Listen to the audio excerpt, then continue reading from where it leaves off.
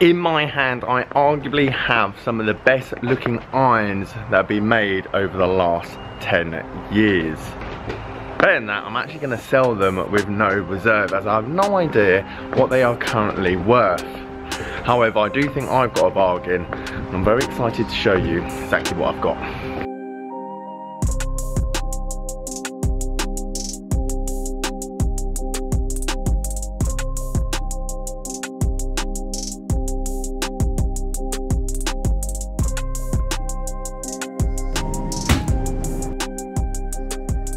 So before I give these irons a hit, just have a look at how good these irons are. I can't get over them. I need to tell you exactly how I got hold of these. So firstly, I have to thank Brian. Brian's a subscriber to the channel. He reached out about two weeks ago and he just asked a general question. Um, I've got a contact um, that's able to get me two sets of different irons of either these or C300s. 240 pounds I think for the C300s or 260 pounds for these. Um, uh, and I said for playing reasons, um, uh, C300 would be more than viable. Um, however, these are 260 pounds from three to pitch and wedge is an absolute bargain. I'd buy five of them. Now, unbeknownst to me, Brian and then came back and said, Simon, if you want a set of them, I'm more than happy to get them for you and post them to you. And that's exactly what he did. So we've been back and forth over the last two weeks um, and these clubs arrived yesterday and I've got three to nine iron brand new I'll explain again in a bit and then a pitching wedge as well for 260 pounds which is an absolute steal. And Brian I can't thank you enough. First of all for sourcing these so I can give them a hit because I've always wanted to hit these irons.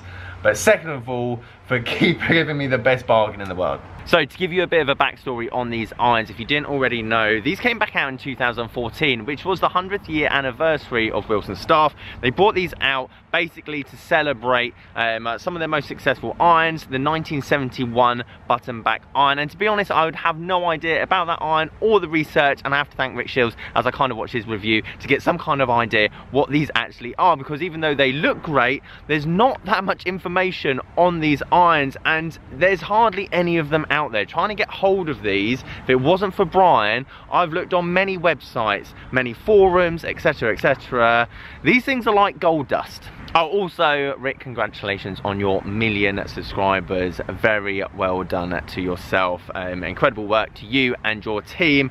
Um, and thank you for the review on these irons so I can give these guys a bit more information about them. Unlike what Rick said, however. It's a milled face, not forged as I believe. I don't believe it's forged, but I believe it's a milled face. These are forged irons. Three to nine iron I've got, and they are very much blades like blade blades, like true loft blades. Like the 7 iron is a 35 degree 7 iron, which is what a 7 iron was designed to be. So these aren't going to be long hitting. They're not going to be forgiving. They're going to be um, uh, very controlling, very shot shaping, very uh, hurt your hands first thing in the winter's morning, but they're definitely not going to give you distance. So as far as I'm aware, Wilson staff themselves, because these did come from a very reliable source, potentially are going to be selling 3 to 9 iron in these irons again. 3 to 9 iron. The reason I got a pitching wedge is because Brian's a legend and his contact kind of sourced me one. However, that is why this has already been hit and I'm actually going to hit this because I'm not going to cry if I scuff it. Um, and also why it's got a Project X 6.0 in it with a different grip altogether compared to the brand new set that I've got here with all the wrappers on that's got a dynamic gold R300 and a Wilson Staff grip etc etc so the pitching wedge has got a completely different shaft got a different grip um, uh, and overall potentially is going to perform differently to the rest of the set but here's my argument. Should you be hitting these clubs these to me to see more of a trophy, a celebration of Wilson Staff over the last hundred years. Wilson Staff themselves have had more major winners than any other manufacturer there ever has been and they have come up with an absolute gem. Now I know this club is near on seven years old now, but it doesn't look it. It does a fantastic combination, I feel personally, between modern technology when it comes to forging, milled face, production, but then keeping the classic style, i.e. the ferrule, the shaft going through to the bottom of the head, um, the classic lettering and design on the bottom um, of the toe there, but then with the chrome plating, uh, the lovely design on the back there. Very simple very elegant. And to me it would just be a shame and I'm glad that this has actually been hit because I wouldn't want to take the wrapper off and I wouldn't want to give these a hit because it'd just be a bit of a shame. Trying to value these irons is very difficult because there's nothing that I can find and I've been looking for near on two years now because I wanted to test and try these irons. Trying to get hold of them is impossible.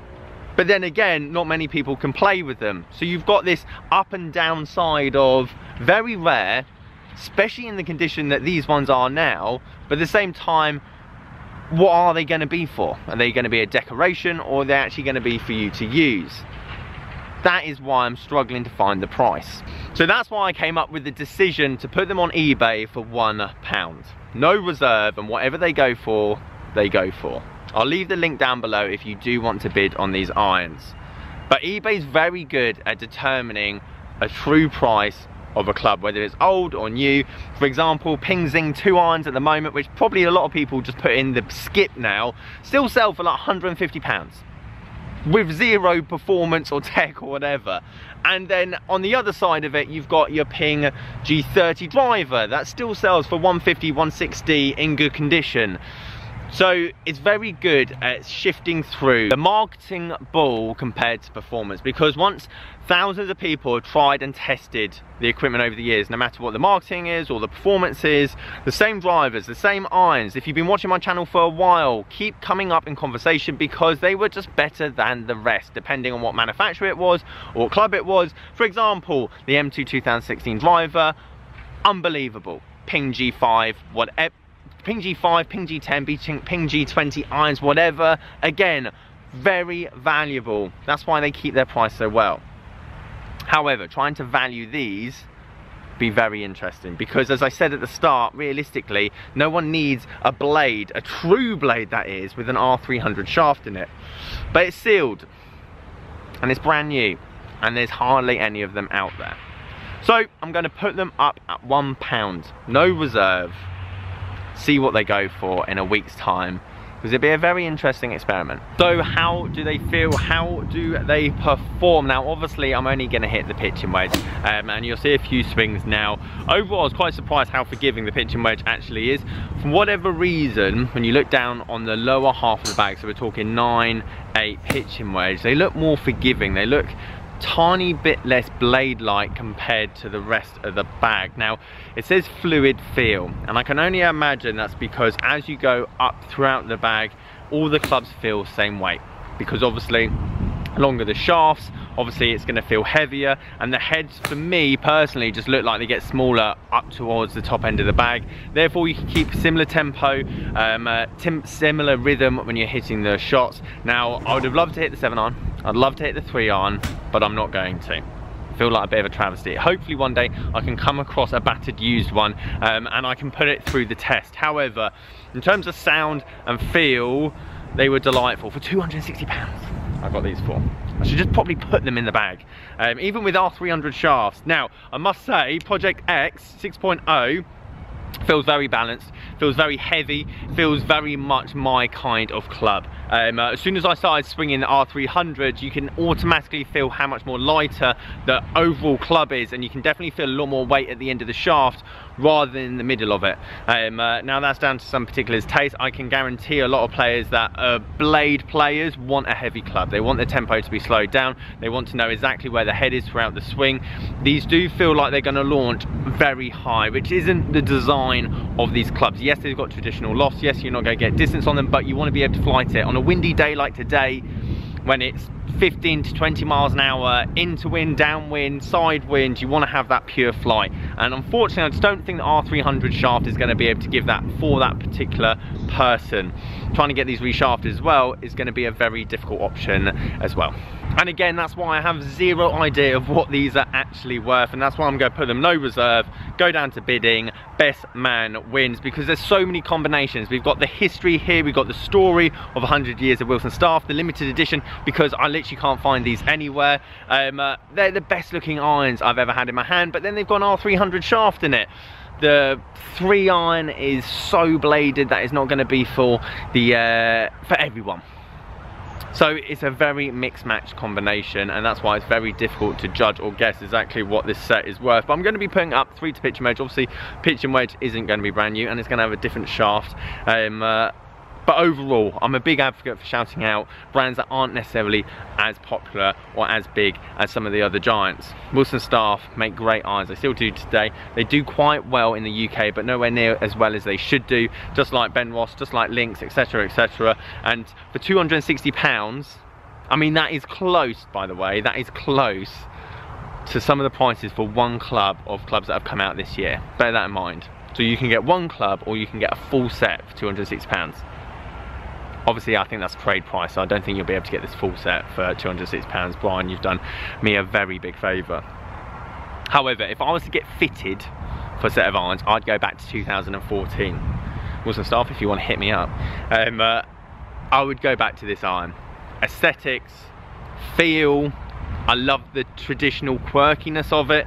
Obviously, I'd have to have half an inch on the end, two degrees upright, and potentially get something a bit heavier and stiffer in the actual um, uh, head itself, but I think it just ticks so many boxes. I like being a bit quirky, I like being a bit out there.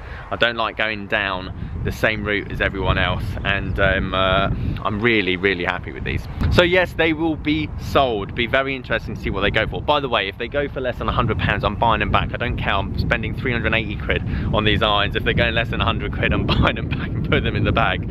Um, uh, but yeah, hopefully they go to a worthy home. Hopefully either someone's gonna look after them, collect them, or even hit them. Um, uh, but I think it's a great story. I think it's a great story from Wilson Staff. I'll be really interested to try more Wilson Staff clubs in the near future as well. They're very much on my radar um, uh, and overall they have produced, in my eyes, one of the best looking irons to ever be created. Big bold statement, please comment down below if you agree or not. So guys, there you have it. Thank you ever so much for watching this video. Please leave it a like if you liked it. Subscribe if you are new. Catch you guys later.